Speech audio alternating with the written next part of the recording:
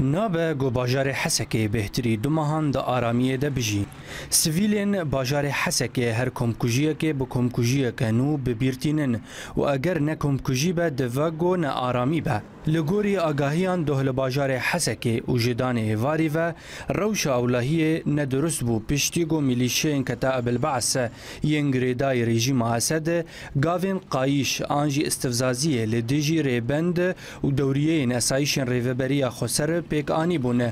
لەوما ڕەوشە دەناوبەرە هەردووالیان دە نەدرست بوو و مەترسین چێبوو گۆ پەفچوونێن و لە باژارێ حەسەکێ دەناوبەرە هەردووالیان دە ڕوو بدەن. چالکوانان ji bajarê hesekê ragihandin goji doh danê êvarî li taxa nişwa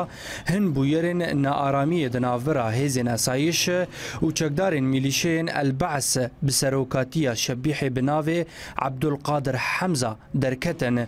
و سدم او بو گوچکدارین همان میلیشیان برنگکی استفزازی و هوه دبر ریبندین اسایشان را دچون و دهاتنه.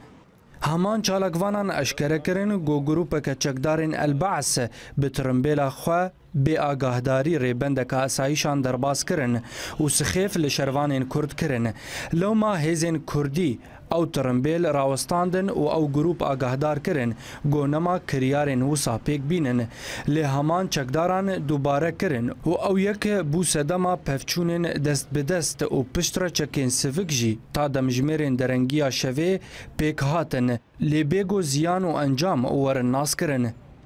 تێزانین و ئەو کە تا ئەبل بەعسە بەریا دەمەکێ لە سەردەستێن محەممەد خەدورا سەرلەشگەری ڕێژیمێ لە باژارێ حەسەکێ هاتە ئاواکردن